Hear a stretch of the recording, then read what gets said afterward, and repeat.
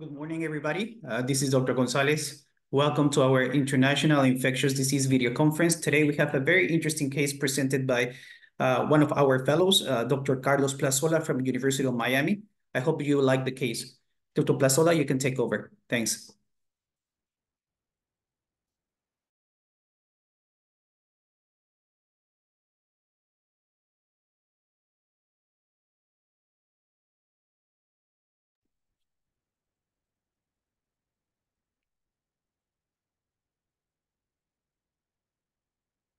Can everyone hear me?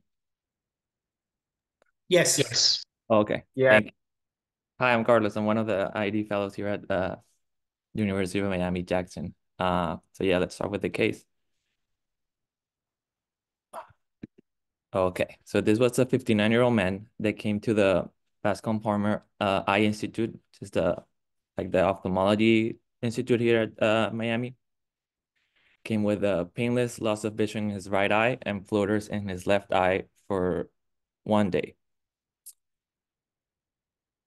Um, he only reported a headache. That was he, his only other symptom. Didn't have any fevers or any um, any other symptoms whatsoever.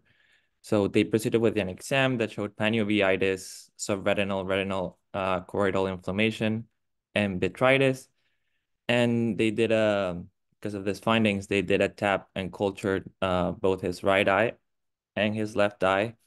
And he uh, was transferred to the general ER just for, for further workup since seems like it was a more serious case after receiving uh, intravitreal uh, antibiotics and, and antifungals, vancomycin, ceftazidime, and, and voriconazole in both eyes. Okay, so he was then transferred to the Jackson uh, Memorial Hospital emergency room, where he his initial physical exam he was afebrile with a heart rate of 82, blood pressure was 40 over 87, and he was saturating 100% um, uh, in room air. Pertinent positive findings on the on the exam, he had conjunctival injection in both of his eyes and a two out of six systolic murmur. Um, but his abdomen was soft, non-tender, and he was alert and oriented to person, place, and time. Didn't have any focal deficits. Otherwise, the exam was uh, unremarkable. Now, just taking a step back on on his history before we go with the with the rest of the case, he has type two diabetes. Uh, he's on metformin, but it's unknown what his, what his A1C was. He hadn't been in, in the hospital for a long time or in the clinic. Uh, also had hypertension. Uh, and did go to a recent emergency room for nausea and vomiting after he ate a bad sandwich. It was was treated, uh, supportive care, probably a food poisoning, and then he was discharged. In terms of social history, he was born and raised in the in the U.S. and lives in Miami Gardens with his wife. Has three dogs but no cats. Works as a driver of a trash truck. Um, doesn't use any drugs or um, smoke cigarettes, smoke marijuana in his 20s, but not anymore, and occasionally drinks a few beers, but not a not, not a daily drinker. Uh, and sexually is active with only with his wife, uh, and hasn't traveled uh, anywhere outside of Miami recently, and doesn't visit farms or is exposed to farm animals. his initial labs showed a white blood cell count of 13 with a neutrophil predominance of 84.81.4%. Um, they obtained blood cultures that were with no growth uh, at one day. Uh, ESR was 78, like a, a, a erythrocyte sedimentation rate was 78. The C-reactive protein was uh, 24.6. His glucose was 240 you know, he has diabetes and otherwise his labs are unremarkable except for a lipase of 354. Uh, his HIV screen was negative and his Hep C, uh, hepatitis C screening was negative as well. And in terms of uh, the initial radiology that we had, um, we had this X-ray on the left side that was pretty unremarkable. Uh, there was no infiltrates, no consolidations. Um, and um, this was a CT abdomen pelvis that was that was gotten since he reported this uh, nausea and vomiting a few days ago. Um, that showed this hypodense lesion in the left liver lobe that was read at eight mil as eight millimeters in size. Uh, that was not seen in previous studies, and that it might rep might have rep represented a cyst. Uh, okay. The initial antimicrobials that they started was cefepime and vancomycin. And yeah, just be before we go to the next uh you know next part of the case, uh just with this information that we have, I don't know if anyone has any differential diagnosis in mind or any questions that they want to ask um before we before we go on. Hi, Carlos. Thank you. Any recent travel? No, no recent travel.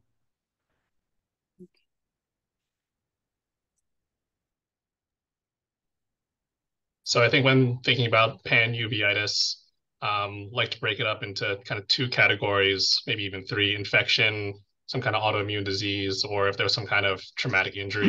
he works a trash collector, so maybe that's a, definitely a possibility. Um, as far as things to be concerned about right now, probably thinking about syphilis, maybe tuberculosis. So he doesn't seem to have any uh, exposures that you've told us about so far um, and then maybe start like an autoimmune workup for like lupus, uh, sarcoid, something like that.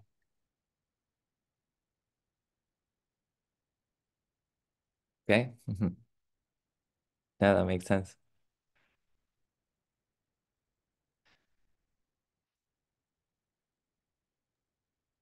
I think someone raised their hand. Yeah, go ahead, Dr. Villegas. Hi, hi, good, uh, good morning, everyone. Uh, I, I want to know about more, uh, if you have any more history about the recent visit to the ER because of the bad sandwich, because uh, you, you're presenting someone with mul multiple uh, uh, infectious sites, uh, different, that suggest like any, for me, suggesting any something like metastatic, meta, metastatic infectious sites so what about, you have a more history about that visit to the ER because of the bad? Did they do, did they perform any tests, any, anything uh, around that? Yeah, they, they, he came like five days before this presentation to the, that I was mentioning. Uh, his vitals were within normal limits. Uh, labs were normal. Did he didn't have a white count like this time uh, and that was not nothing concerning. Uh, so he was discharged. Uh, just assuming this was a, a case of food poisoning, he improved with like fluids and and supportive care, uh, like anti antiemetics, and then he he was just discharged. He didn't have any eye symptoms at that time when he when he when he presented. Thanks.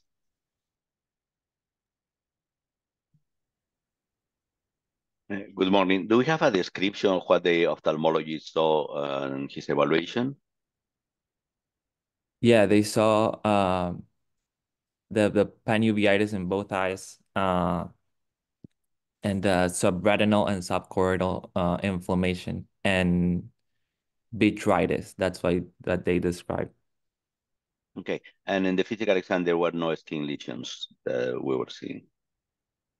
No, there he had no skin lesions. Okay. And you mentioned he had a murmur. Did we know in the past that the murmur was there, or it's new as far as we know? Like no heart conditions that we know of. Yeah, so as far as we know, the murmur was new. Uh, there was no prior documentation that he him having a murmur. Okay, thank you.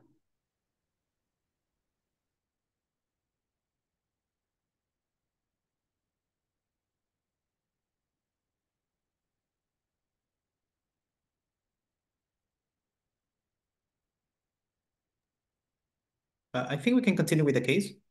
Okay, yeah. So I'll continue. Um, so at that time we we were consulted, our team. Um, so with the with the murmur, the liver lesion, and ocular findings, there was uh, suspicion for infective endocarditis.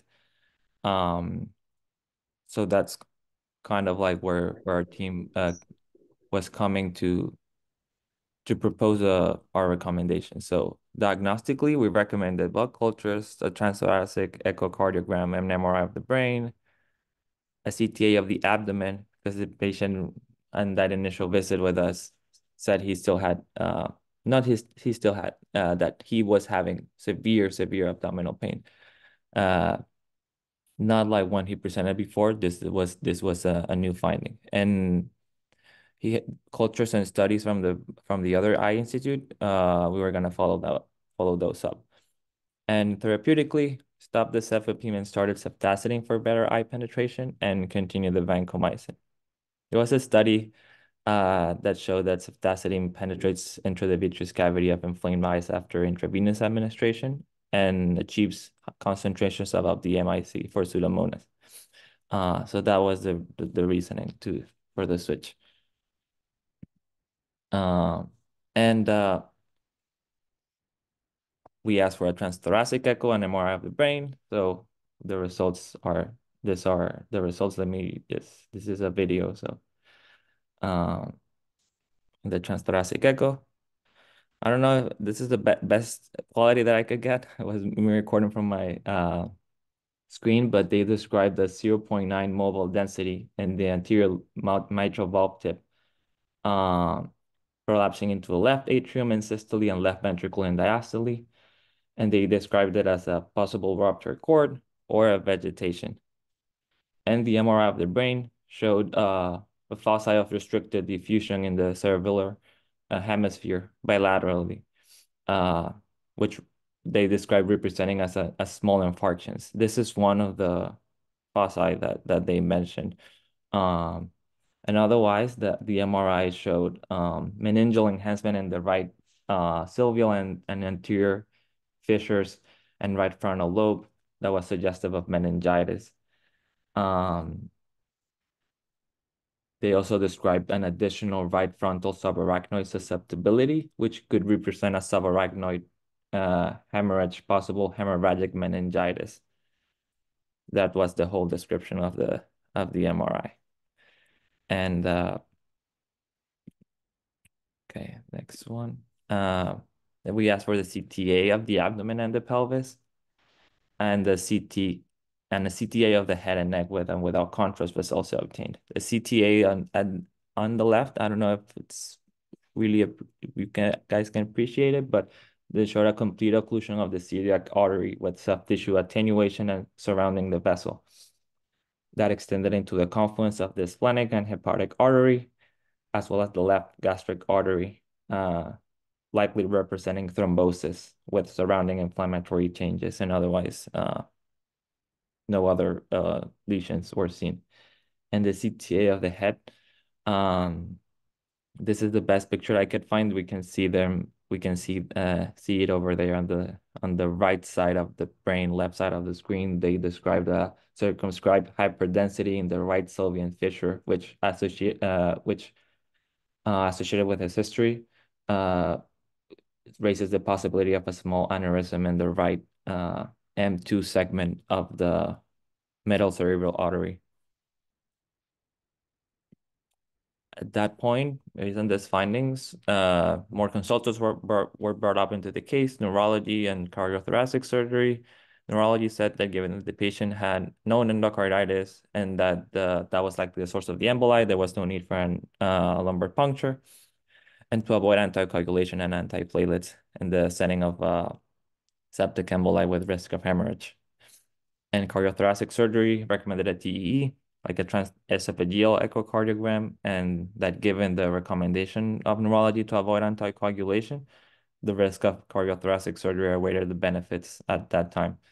And the patient remained, the patient rem was remained clinically stable uh, despite all these findings. So now uh, just gonna go like day by day, I guess, uh, or like more chronologically, see what what what we got in terms of diagnosis and therapy. So this is at day three. So two days after we initially saw him, the blood cultures were still negative, and the cultures from the from the other hospital, the the cultures from the eye were completely negative. Uh, they didn't grow anything, and um, so we asked for the transesophageal echocardiogram, continuous cefepime, ceftazidime, and vancomycin, and then uh, ophthalmology injected again in his eyes with both uh, his both eyes with the antibiotics and antifungals. They did mention that the endophthalmitis was behaving very aggressively, and there was high concern for gram-negative rods, which is why the next day we switched to uh, meropenem given worsening eye findings. And uh, we started, since the cultures were still negative, started the culture negative endocarditis workup. Transesophageal echocardiogram was still was still pending at that time. Um, the next day, uh, the transesophageal echo was obtained. It showed a, a one centimeter mitral valve vegetation with moderate mitral valve regurgitation and no evidence of perforation or, or abscess formation. And uh, the blood cultures were completely negative. Uh, uh, Bartonella, PCR and serology were negative. Brucella IgG was positive. IgM was negative. Coxiella PCR in blood uh, and serology were negative. Cryptococcal antigen in blood was negative. The Fungitell assay or, or beta D-glucan in the blood was more than 500, so that was a positive result.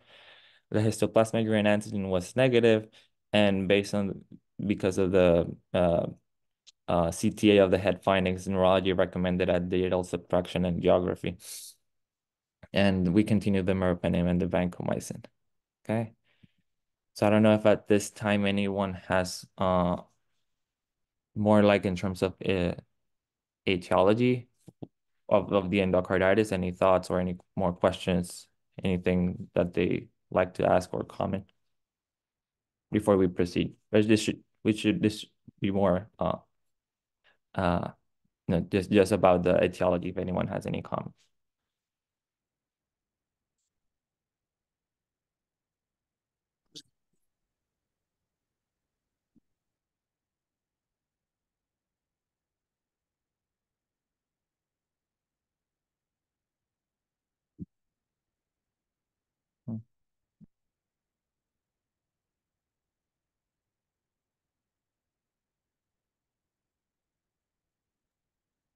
Uh, Carlos, quick question. Uh, so the blood cultures persist uh, negative at this point. How many days have passed with uh, negative cultures?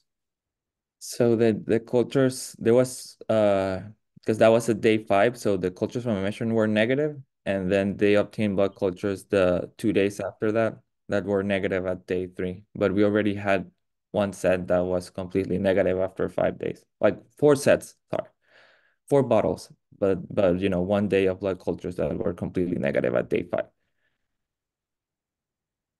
Uh, hi, Carlos. This is Jorge Alave. Um, does you have or that that, that, that you perform um, gene sequence because you have a patient with a uh, negative cultures, and obviously you need uh, another um, another uh, another method, no? So in another context, and is and it's very rare the marantic uh, endocarditis and Libman-Sacks. No, you you suspect non-infectious diseases, but uh, it's very important to rule out the infectious disease. So for this reason, I don't know if you if you perform a sequence, uh, gene sequence. Yes, yes, we did perform it, but that, that that's coming. But yeah, we we did perform uh gene sequencing.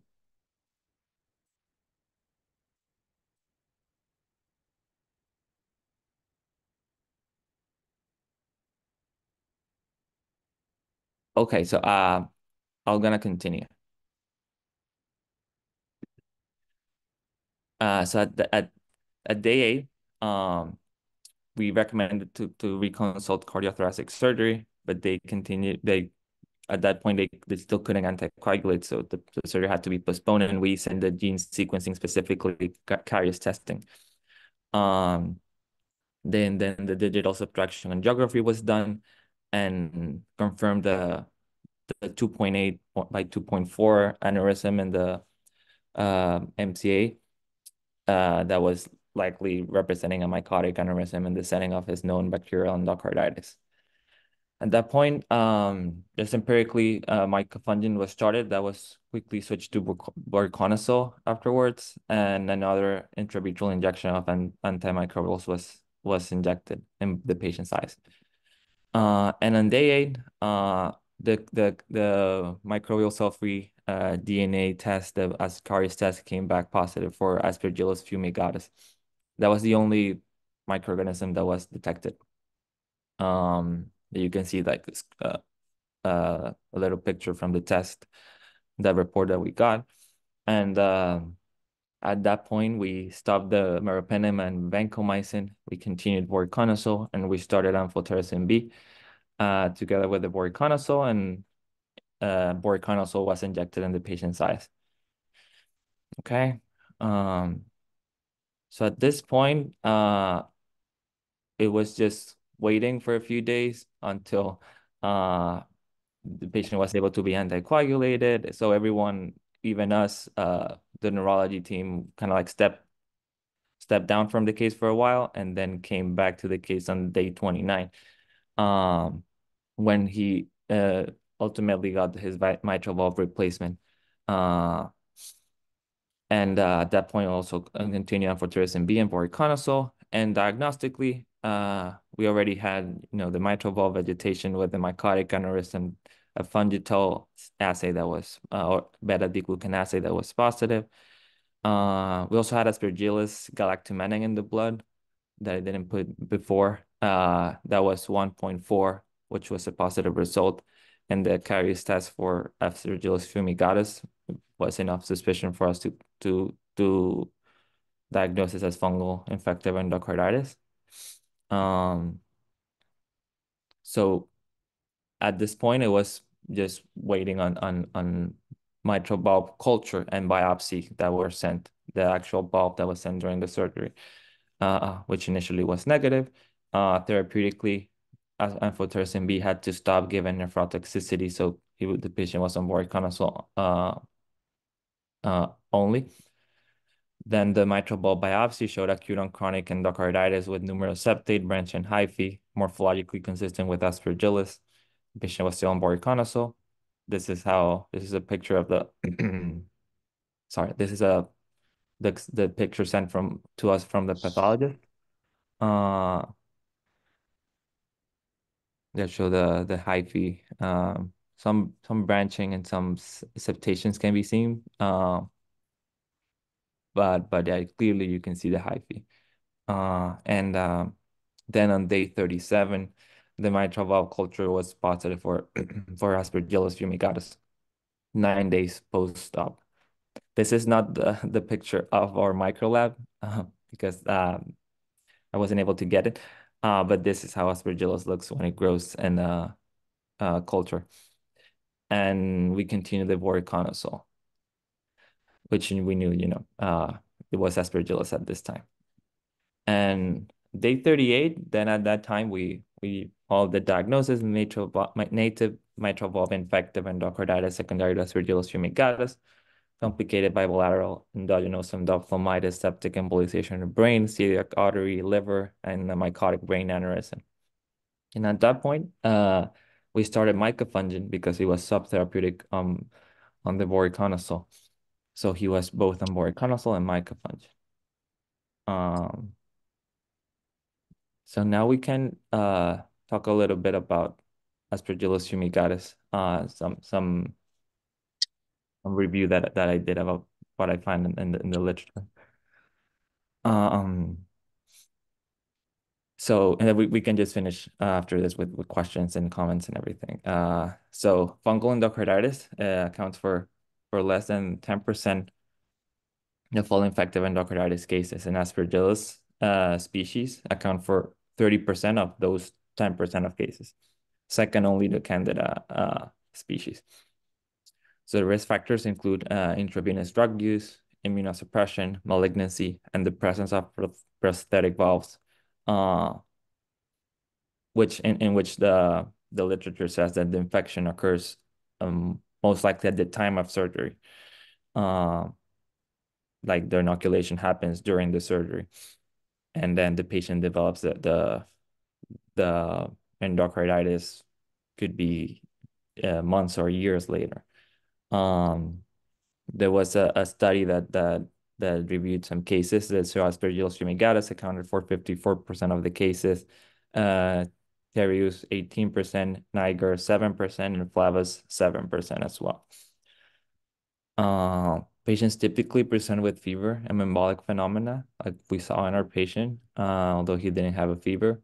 Uh, his uh, review also showed that the vegetations uh, are often large and involve the mitral in 49% uh, of the cases they reviewed, the 53 patients, and aortic valves uh, or aortic valves. and that the complications were common and frequently involved embolization to the pulmonary, ophthalmic, cerebral, iliac, coronary, hepatic, splenic, renal, brachial, and or mesenteric arteries that we saw that our patient had. Um, in terms of diagnosis, the blood cultures are rarely positive. Uh, the util and the utility of the galactomannan assay had not been studied in 2010, but then in 2016 there was a review that that showed that uh, um, and they performed aspergillus PCR, beta glucan, and galactomannan testing, and the PCR was positive in seven out of seven of the seven uh, patients that were tested. The serum beta glucan was positive in six out of the seven, and um, they got Aspergillus galactomannan in 10 of the 16 patients, 10 of 16 patients. And in four of the 20 patients, all three tests were negative. But the the gold standard for diagnosis remains the histological and, and tissue culture, like we saw in our, in our patient. and uh, the treatment of, of endocarditis for aspergillus in general, it's it's largely guided by by the evidence that we have from other forms of invasive aspergillosis. Um, specifically for endocarditis, the treatment often requires medical and surgical therapies, um, but the mortalities are still approach 80% despite uh, optimal therapy. There was a, a, a study as well that showed there was the mortality was almost 100% despite optimal therapy and the voriconazole remains the antifungal agent of choice for aspergillus endocarditis. But I did want to mention here that for the some some the the literature says that for impaired coverage of fungal endocarditis without the species, uh, the treatment is lip, uh, liposomal amphotericin B. Um, just going a little bit more into detail, uh, the the routine the seems like the, the routine use of combination therapy is not recommended in, most guidelines because there's no uh, definitive randomized clinical trial data to support it. Uh, but there was a study, uh, a, randomized clinical trial in 2015 that showed that um, uh, there was com combination with voriconazole and anidulafungin showed improved outcomes, but it, it failed to show statistically statistical significance. Um, and posaconazole and isavuconazole are the preferred or alternatives um, to voriconazole. Both have been shown to be as effective as voriconazole and to be better tolerated in randomized ran, in randomized trials. And we amphotericin B is generally reserved for patients that cannot take azoles, that have severe hepatotoxicity, or are uh, are resistant, have resistant isolates to to to voriconazole or azoles. Um, in terms of duration, I mean, this is the duration for invasive endocarditis, six to 12 weeks. Uh, sorry, aspergillosis, but we'll go, uh, we, I have more cases at the end that, that show a, a little bit uh, what was some, some, some specific cases, but there's no data on the optimal duration of, of especially of combination therapy. This same study that I mentioned before uh, showed that two to four weeks uh, was the the the, the combination therapy uh, duration that they used, and the actual the median actual duration was 14 days. And in cases of endocarditis, the patients have to be on lifelong suppressive antifungal therapy with an oral um, at the same doses that were used for treatment. So this is this is just to finish. This is some of the cases that I found uh, on the literature. Um, there was just going like, let's say, uh, top to left. There was a this was an Aspergillus fumigatus native of endocarditis in an otherwise healthy adult from 2016. Um, this was interesting because they described that they they didn't see they didn't there was no cases in patients that were otherwise healthy without uh without the risk factors that I mentioned that to their knowledge at that time. This was that was the first case that was in here in the United States. And the therapy that they used was four weeks of dual antifungal therapy with intravenous voriconazole and amphotericin B. And then the patient was discharged home on lifelong oral voriconazole. Um, then the next one below that one, uh, it was a case of cardiac device-related aspergillus endocarditis in a patient with a pacemaker and a bone marrow transplant. Um, of course, this is not exactly our patient, but just in terms of this was in the United States as well, just in terms of therapy for us to have like some uh some idea. They they use intravenous uh, voriconazole, uh, and he was just that that was the only treatment he got like fungal treatment, I guess. Uh, voriconazole, and then he was discharged home on indefinite suppression with oral voriconazole. Then the one below that one that was in the medical mycology case reports in the United States as well. This the the the the I guess that the the interesting part of this case was that it was diagnosed by serum antigen testing. That was what they focused on. That they it demonstrated the utility of obtaining serum beta, serum beta D glucan and galactomannan in a patient. Uh, this patient had prosthetic valve endocarditis, but initially the cultures were negative and they started the empiric treatment based on this uh, um, non-invasive testing, antigen testing that we could have. We that's kind of like what we what we did as well in our case.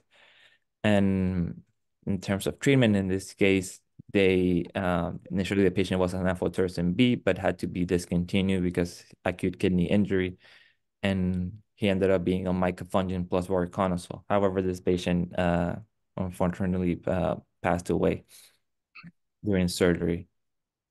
Uh, then there was a case in Italy. Then it's the next one. Uh, that was from 2023. Uh, that was also native valve aspergillus and endocarditis with no known uh, risk factors. They did a liposomal amphotericin B plus isavuconazole. However, this patient uh, also passed away during surgery. They described due to vascular complications. And uh, lastly, this is an interesting case that I found uh, that showed uh, an endocarditis Aspergillus fumigatus in a patient nine months after COVID-19 infection. Uh, this was a case in Iran. Um, and he, this patient was treated. This was a, there was a, this was a, a woman around 50 years old uh, initially on amphotericin B, but then was switched to voriconazole, and they treated for six months, and that the patient was followed by uh, seven months after discharge, and no further complications developed. Uh, this was published just uh, a few month a few months ago in December 2023. It's, it's interesting because for our patient, we really didn't find a um, I guess a risk factor but now we have this case, for example, with COVID-19 that we know can cause all this uh, immune modulatory changes. Uh, but we know we, we uh, unclear if the patient had COVID at some point, you know, it's possible, but but that was not a question that we asked intentionally in this case, but something to think about. Um, and yeah, that's uh, these are the reference that I, references that I used, and yeah, that's that's the whole case, the discussion.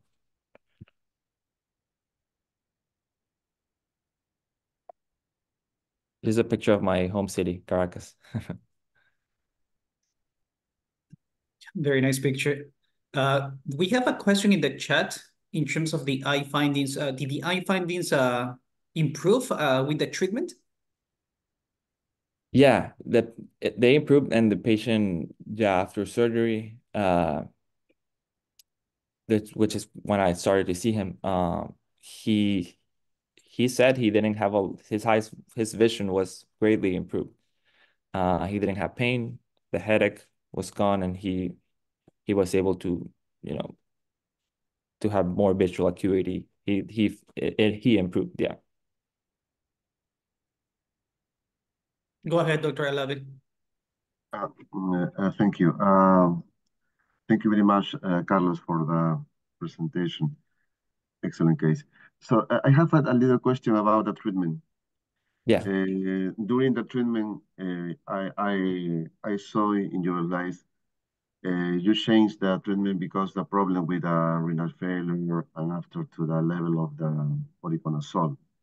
Yeah. So, and you present one case of amphotericin B and isavuconazole.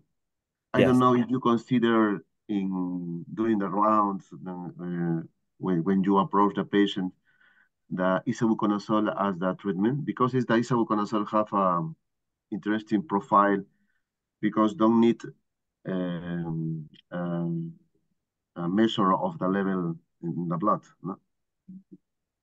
Do you consider isavuconazole to treat it in this case, or or or, or you continue with uh, with the treatment that you propose? Uh, initially, I mean, the, the that during those days that, that I mentioned, uh, I don't think it was considered. Uh, I think I guess the reasoning for for treatment was initially he wasn't the voriconazole uh on its own since since you know it's a it was the as a treatment of choice, but then the amphotericin B was added uh as part of combination therapy. But there was there were also questions also because of why I mentioned that that if combination therapy is effective or not, but um, it was started because of the the clinical picture and the severity and the high mortality.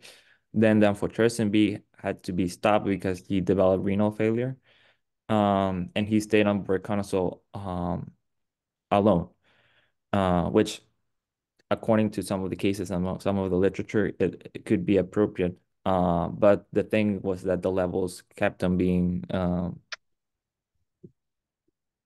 let's say, subtherapeutic. So micafungin was started because the same thing, like the the severity of the of an aspergillus endocarditis, just to to to add and, and provide some extra coverage uh, while the voriconazole levels uh, improve, you know, get get get get to therapeutic levels. So that was kind of like the reasoning for treatment. However, uh, this of course this case was really long. Uh, the patient's still in the hospital. Uh, this was around October, and the patient is still in the hospital right now. So um, actually the patient is now on isavuconazole, but because he developed QTC prolongation that I mentioned that isavuconazole, it's one of the alternative therapies, and he actually had to be uh, switched to that, uh, I think a few weeks ago because of QTC prolongation. But at initially, it wasn't it, it wasn't part of the plan. You know, it was changed now because of the QTC prolongation. Go ahead, Dr. Castro. Um, yes, uh, I was involved uh, for um, significant time of um, the care in this patient. So just one reflection is that, um, you know, we're discussing rounds about the need of second antifungal therapy because it was, um, I mean, the guidelines just just one, but um, nevertheless, he he had two antifungals on, but despite of that, the uh, aspergillus grew. After those weeks of therapy the aspergillus grew in the valve when it was resected. So I, I think you know that point is just to to think about how ineffective are the current antifungals to treat um, aspergillus endocarditis. Um, and the second point is, yes, he's still in the hospital, and he has developed a very unusual uh, complication that is um, mycotic aneurysm, but it's caused by a mycobacterium. So I wonder if he has some unknown immune uh, deficiency that we have not found yet. Because it's very unusual to to develop um, mycotic aneurysms uh, with mycobacteria. And that was proven by culture and biopsy. Over.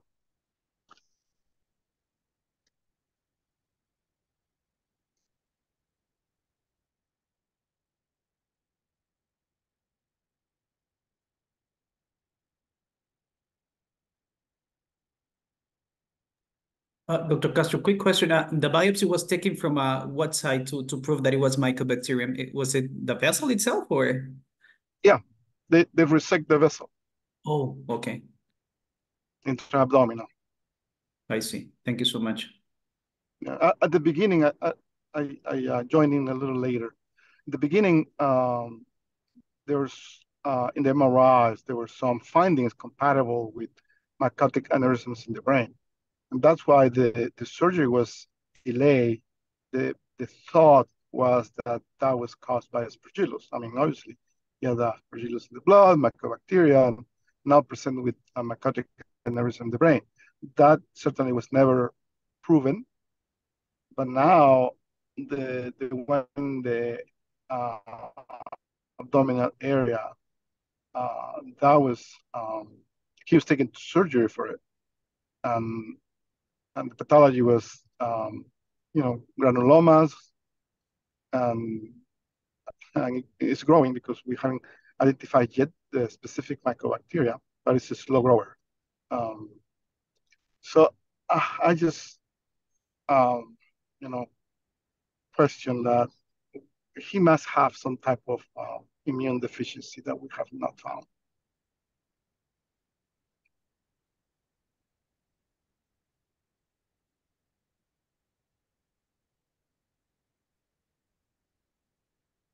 Yeah, that will definitely uh, will complicate the treatment, I guess. Uh, if it is a slow-growing mycobacteria, I mean, part of the treatment, I will say that might be uh, rifampin. So we have to keep in mind the interaction between voriconazole and rifampin, and I think uh, that's one of the reasons in this situation to choose uh, yeah, Cresemba isavuconazole in the long term will be easier to to deal with these interactions in the long term. But, but that's an amazing case. I mean, I wasn't expecting this uh, to happen. So a co-infection in a patient may be immunocompromised. So definitely immunology has to be on board to see if he has any primary immunodeficiencies going on and predisposing to this complication. Yeah, that's a very interesting case, definitely. Anybody else would like to uh, add any comments or any questions, please?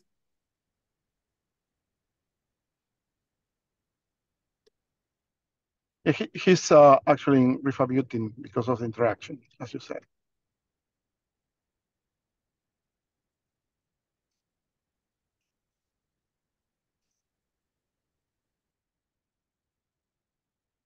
I just have a question in terms of duration for Aspergillus uh, endocarditis. I mean, the literature, I think it has like several um, ways to approach it.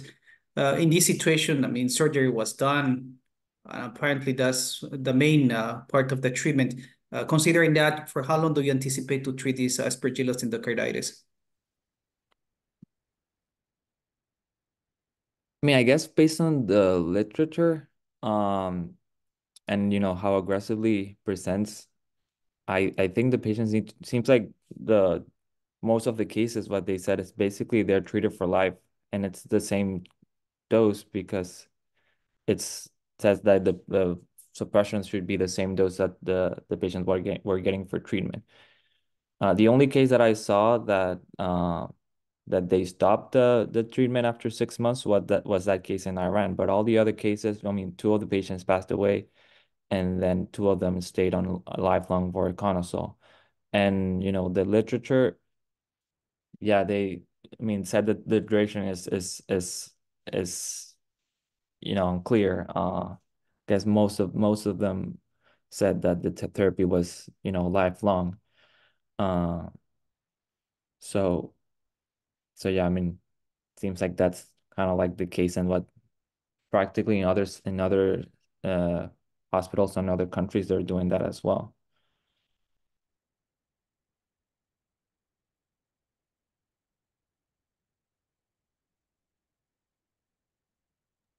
And in terms of the mycobacteria, I mean, is that something that you expect treating like for, I don't know, uh, this situation is, uh, I mean, this is very atypical. Uh, to me, I haven't seen any similar case like this, uh, but mycotic aneurysm possibly, I mean, endocarditis uh, caused by mycobacteria, do you expect a long treatment as well? Six months, a year, lifelong?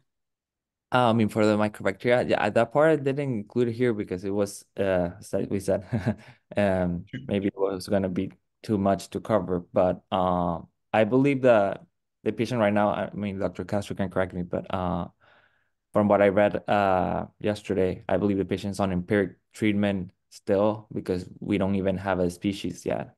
So uh, we're assuming it's uh, a slow grower because I think it grew at 21 days.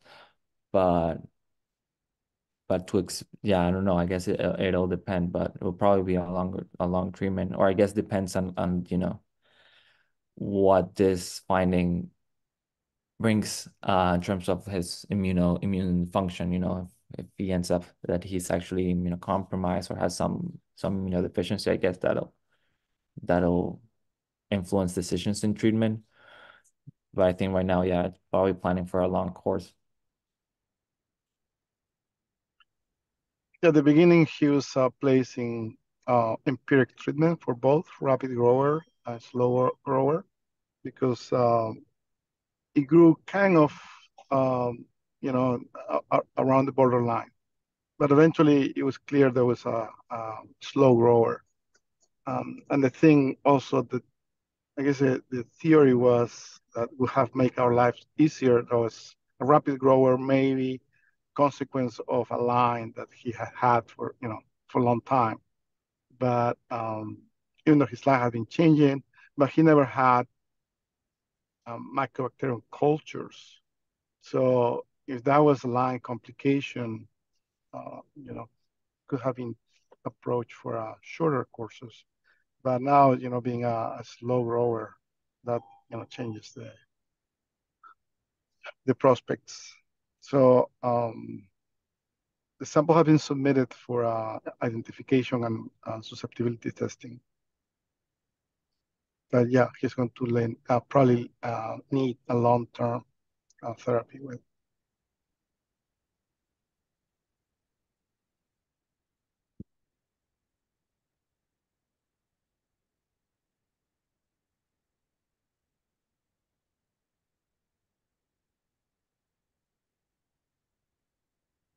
Yeah, the fact that it grew from the, the tissue, I guess, uh, from the vessel, I mean, there is no question that it's a real pathogen.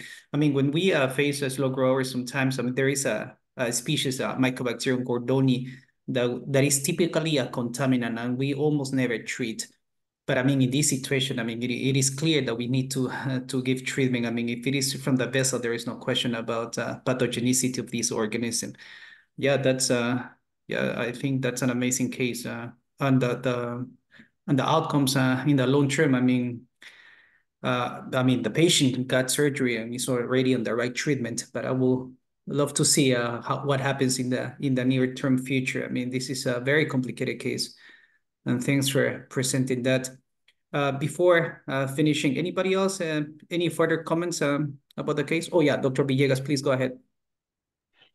Hi, I think one of the highlights of these cases is the the importance of uh, that every day is getting more important in IED is the the PCR methods for diagnosing for quick diagnostic. Uh, this is a great example. Uh, uh a, a late culture that had to be taken when the patient was in surgery quite a few weeks later. It, this this represents the importance of adding uh, molecular stories in our diagnostic and the, the growing need for, for having these techniques in our countries, in our center and everything. It's something that I, I like to highlight about this case because in my country, we don't have like, uh, we don't have many molecular methods for ID, so we lack, we lack for, uh, we, we miss certain diagnostics uh, because of this.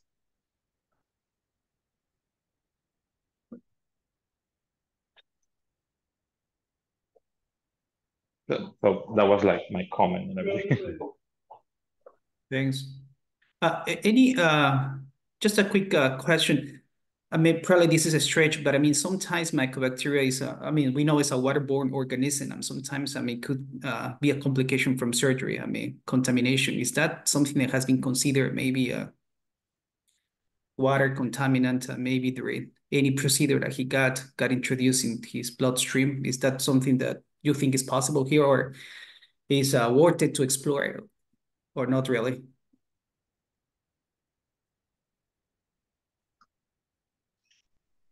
Um, I, think most of those cases are rapid growers.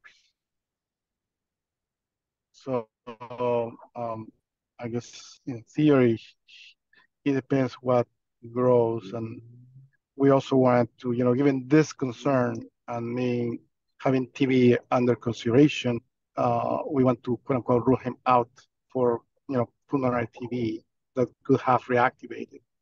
Um, yeah, um, mycobacteriums, yes, certainly are uh, complications of many surgeries, in particular um, intravascular. But as far as I know, most of those cases uh, are rapid growers. Um, so, I mean, if, if, this is mycobacterium tuberculosis complex, um, we'll have to change our approach completely to see what, what's going on.